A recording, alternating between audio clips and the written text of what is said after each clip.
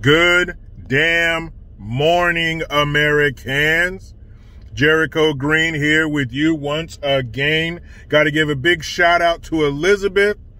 I was out the other night with some of my boys from the radio station having dinner. She came up, said, what's up, took a picture. I appreciate the support. Elizabeth, thank you.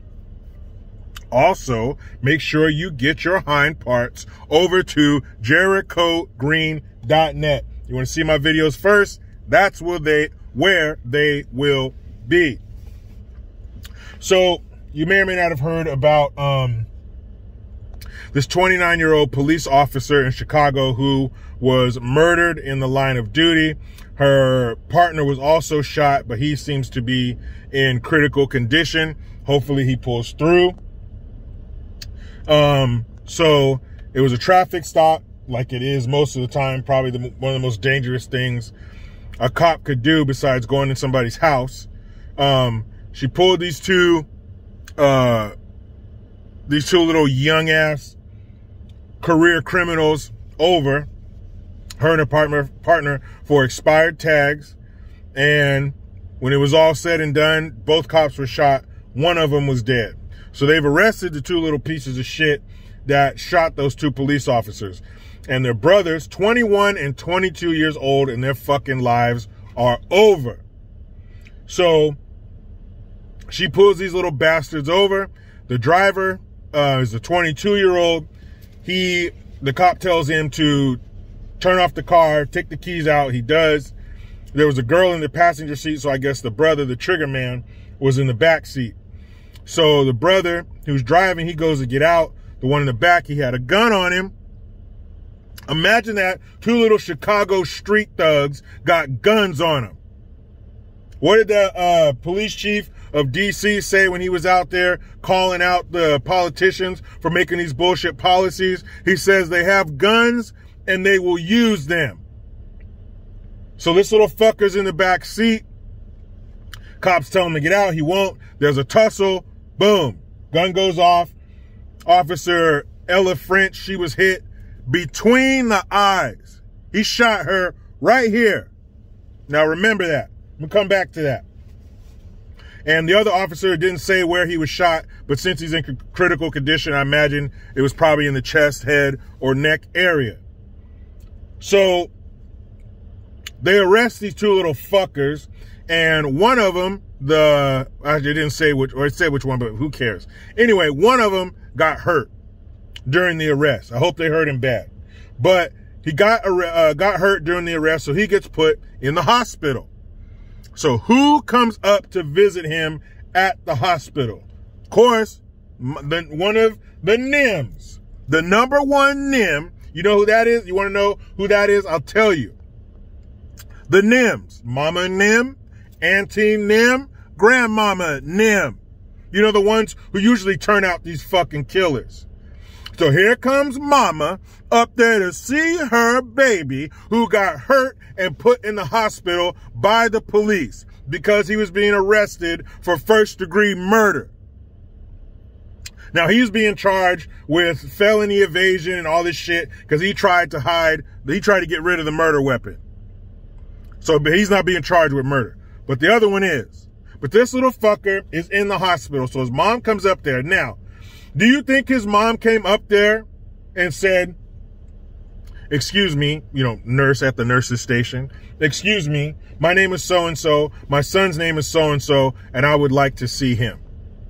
You think she did that? Or do you think she thought to herself, you know what? I'm not even gonna go, gonna go up there because it's a high profile case. My son is under police guard. So I'm gonna go ahead and stay away and take myself home.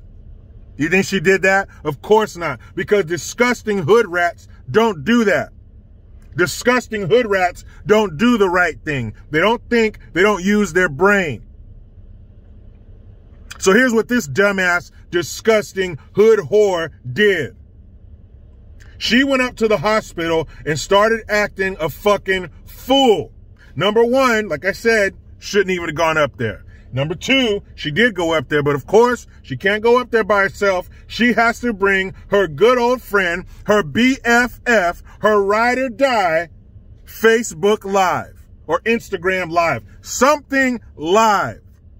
They have to bring the camera because they have to get attention. Hold, hold on, guys. My producer's in my ear. Uh huh. Yeah. yeah, he said that. Okay, I'll tell him. Um, remember, guys, when Bidenists pervertists are grandpa in chief, Mr. Hey, this isn't a mall. You promised me hard candy in the head of an eight-year-old to sniff. Remember him? Remember he said black people don't have access to the interweb. Black people don't have access to the internet. Guess what? This black person does, and she brought her live account to the hospital. So she goes up in there, I want to see my son. I want to see my son. Acting a fucking ghetto ass fool. So what happens? Remember I said she was, her son was under police guard. So here come the police. And they arrest her ass. But do you think this hood rat turned around said, my bad, and put her hands behind her back? Of course not. That's not what hood rats do. Hood rats fight. Hood rats tussle with the police. So that's what she did. She ended up kicking one of the cops in the nuts. Ladies, I know you don't know what that feels like. Fellas, you do. And the messed up part about getting kicked in your nuts, aside from the pain or hit or whatever in your nuts, aside from the pain, is that it doesn't come right away. It takes a few seconds and you know it's coming and you know what's coming and how it feels. Right? Terrible. So this rotten bitch, that's what she did. She tussles with the cops, ends up kicking one of them in the nuts. She gets arrested. Now, had she put this same energy, oh, I want my baby, you hurt my baby. That's no exaggeration. You know how these hood rats do? Had she put that same energy into building a stable home and marriage for these two little fuckers, they wouldn't be murder suspects.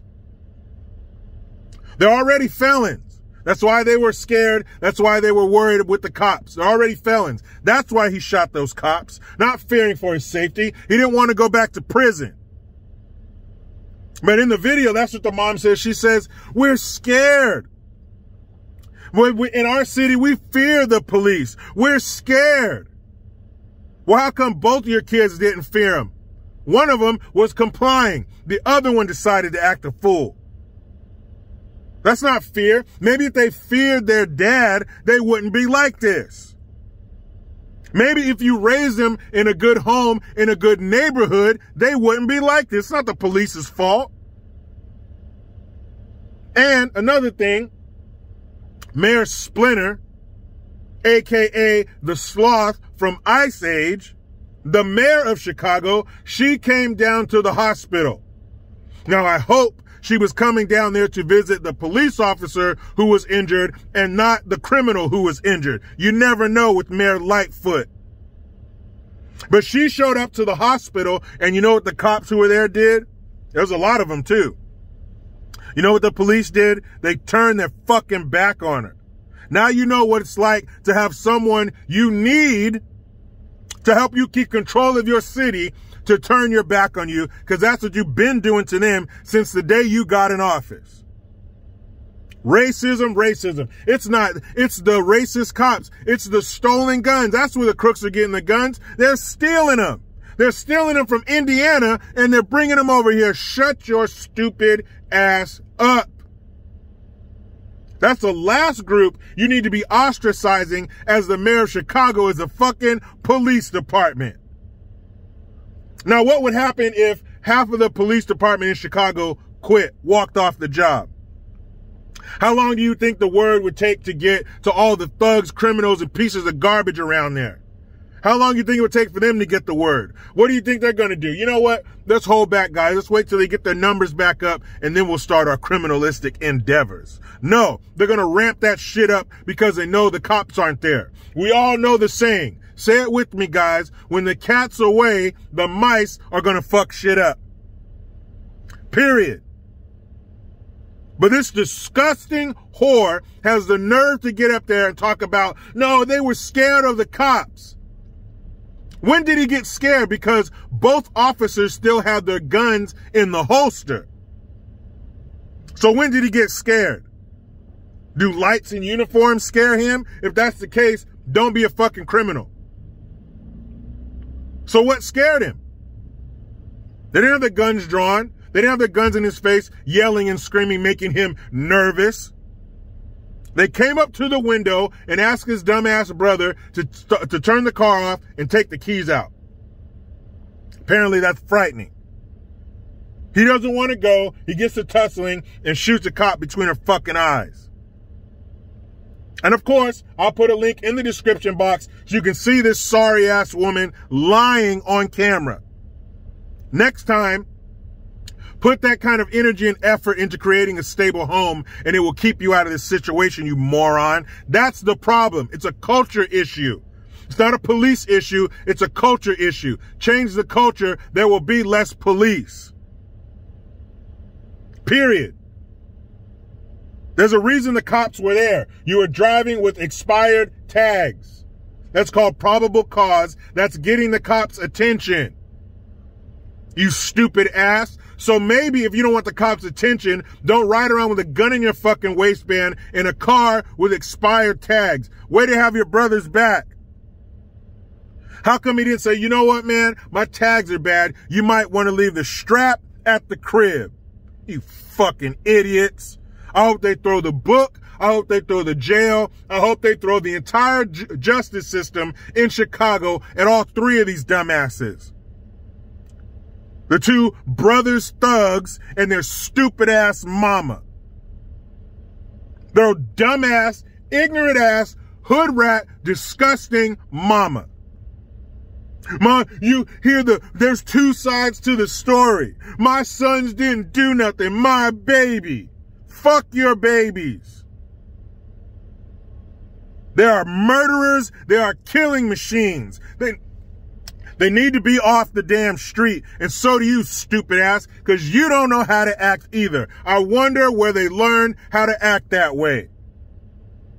I wonder. I wonder if they were surrounded and submerged in estrogen since you didn't keep a fucking man in the house. So you made them these overly sensitive, over, overreacting females in a man's body.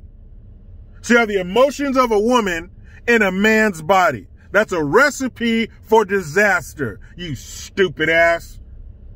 Man, let me get the hell up out of here and enjoy the rest of my state mandated meal period. The only good thing California's giving me. But you know how it goes. I try to be done with the left, but they just won't let me. Please subscribe. Hit that notification bell because every time it rings, a piece of shit lefty cries. Get your Jericho Green notification tone link in the description box. Utilize the PayPal link, Teespring link, and JerichoGreen.net. I am Jericho Green. Man, I'm out.